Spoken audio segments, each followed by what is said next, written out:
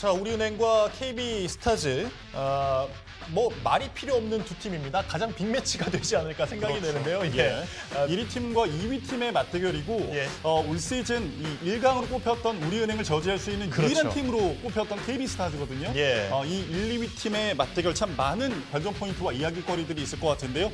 이 경기의 관전 포인트를 만나보겠습니다.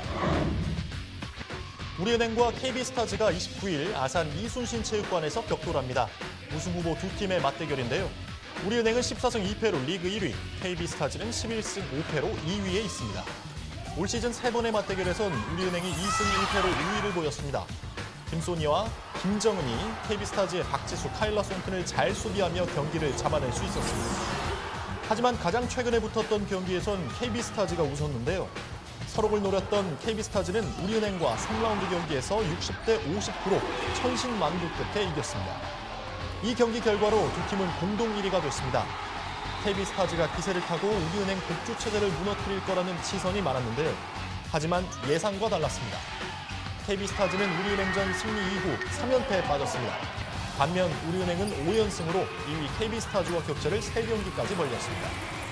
KB스타즈가 우리은행을 이기고 상대 전적을 2승 2패로 맞출 수 있을까요? 두 팀의 대결 결과에 따라 남은 시즌 여자 프로농구 선두권 판도도 달라질 것으로 보입니다.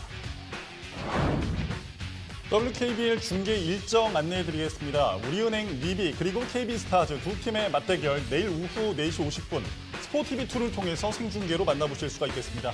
이 경기 많은 시청 부탁드리겠습니다.